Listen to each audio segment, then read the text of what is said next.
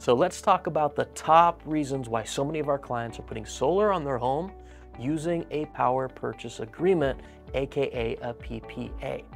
Number one reason, there is zero cost to put the system on your home. Zero cost up front, instant savings. We are changing the way power is being delivered to your home and we're decreasing the rate in which you pay for that same power, oftentimes by as much as 50%. The third reason is maintenance and liability.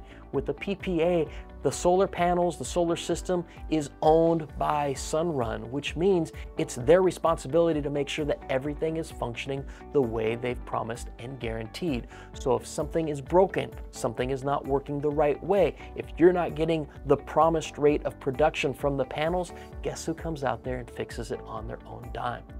That's right, Sunrun, not you.